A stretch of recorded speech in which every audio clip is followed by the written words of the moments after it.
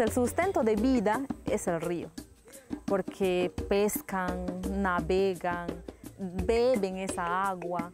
Cuando empezaron a comprar sus motores peque-peque, motor fuera de borda 15, a veces la gente salía del diario, se iban, entraban. Entonces esa bulla le ahuyenta a, los peces. ¿ya? Ahora ya no se ve los bujeos, ya no se ve las boas, ya no se ve tantos pescados que había. ¿Por qué? Porque su madre ya prácticamente salió, le está dejando, porque eh, esos animales quieren estar en un parte de silencio, donde nadie les incomoda. Por eso se cree, porque estamos viendo con nuestros propios ojos, tenemos ese conocimiento ancestral, hasta ahora lo mantenemos.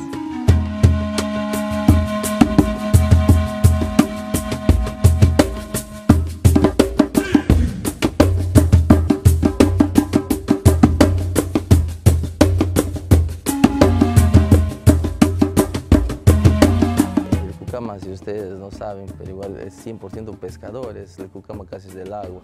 Entonces su parte de su vida está ahí porque se dedica mayormente a la pesca.